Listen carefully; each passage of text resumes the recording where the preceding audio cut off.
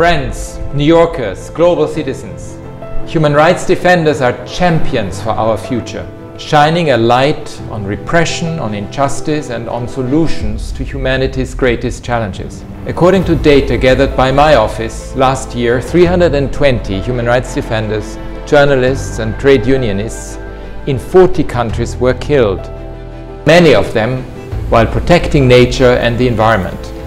Across the globe, environmental human rights defenders are leading efforts to tackle a climate crisis that is growing ever more ferocious, more terrifying and more present.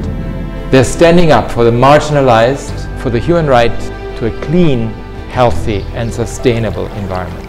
They deserve our gratitude and our protection.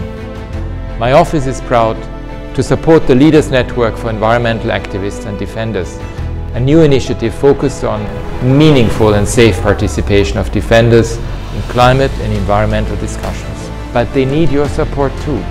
Take action to protect civic space and help us to build a more sustainable and more equal future.